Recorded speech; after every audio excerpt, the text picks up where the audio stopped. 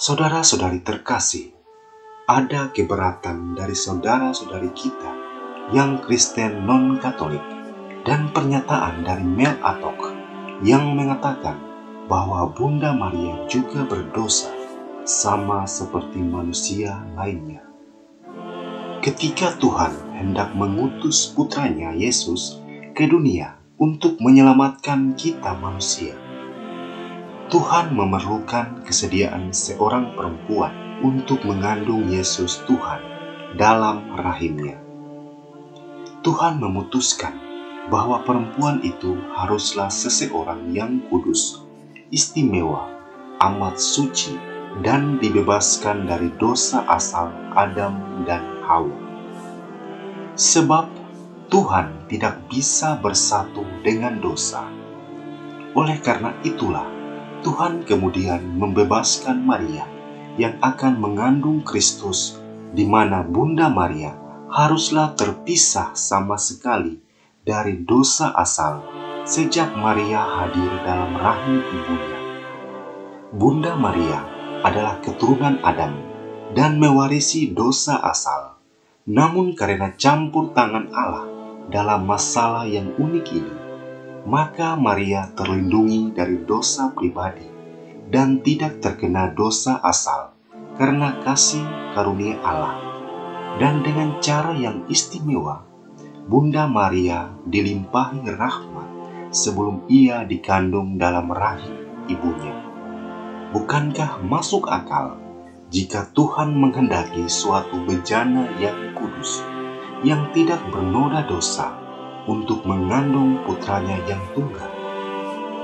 Bagaimanapun juga, Yesus ketika hidup di dalam rahim Bunda Maria, Yesus bertumbuh dan berkembang sama seperti bayi lainnya yang berkembang dalam rahim ibu mereka masing-masing. Yesus juga menerima darah Maria dan menerima makanan untuk pertumbuhannya dari tubuh Bunda Maria. Berikut ini dasar dari kitab suci, tradisi suci, dan magisterium yang menyatakan bahwa Bunda Maria tidak berdosa.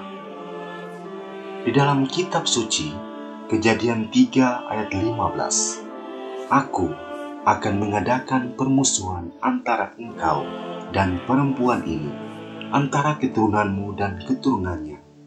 Artinya, bahwa Maria adalah perempuan itu yang dijanjikan oleh Allah akan melahirkan keturunan yang akan mengalahkan iblis.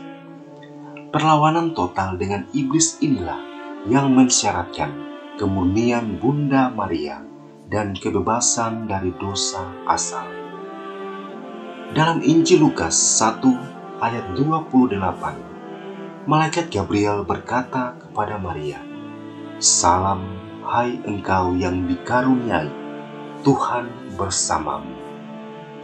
Dalam terjemahan Yunani, kata yang dikaruniai atau dirahmati mengacu pada memiliki rahmat sebagai kualitas yang abadi dan sempurna. Kepenuhan rahmat Allah maksudnya adalah tiada ruang bagi dosa. Di dalam tradisi suci, Santo Ireneus pada tahun 180 mengatakan bahwa Hawa dengan ketidaktaatannya karena dosa mendatangkan kematian bagi dirinya dan seluruh umat manusia. Maria dengan ketaatannya tanpa dosa mendatangkan keselamatan bagi dirinya dan seluruh umat manusia. Oleh karena itu, ikatan ketidaktaatan Hawa dilepaskan oleh ketaatan Maria apa yang terikat oleh ketidakpercayaan Hawa dilepaskan oleh iman Maria. Dasar Magisterium Gereja Paus Pius ke-9 pada tanggal 8 Desember tahun 1854 dalam Konstitusi Apostolik Ineffabilis Deus mengajarkan dogma perawan Maria dikandung tanpa noda sebagai berikut.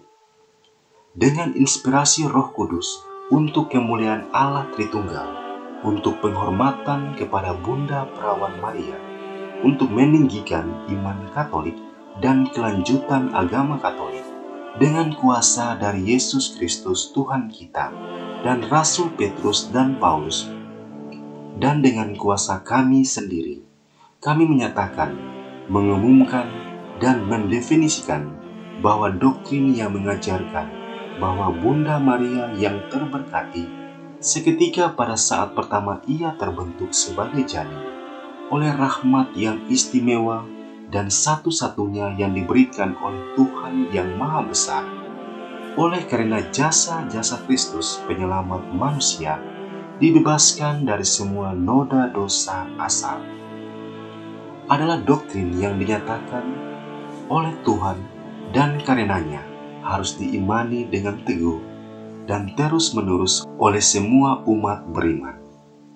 Jadi, Bunda Maria dikandung tanpa noda dosa karena sejak awal Allah telah memilihnya menjadi Bunda Allah, yaitu ibu dari pribadi kedua Trinitas, yaitu anak.